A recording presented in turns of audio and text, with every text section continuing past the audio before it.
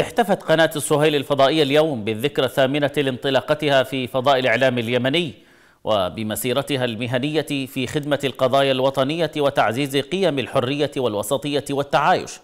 وأقامت بهذه المناسبة ندوة استعرضت فيها مسيرة القناة ودورها المحوري في كسر الاحتكار الإعلامي إضافة إلى تسليط الضوء على المراحل المفصلية التي مرت بها طوال سنوات عملها الرسالي.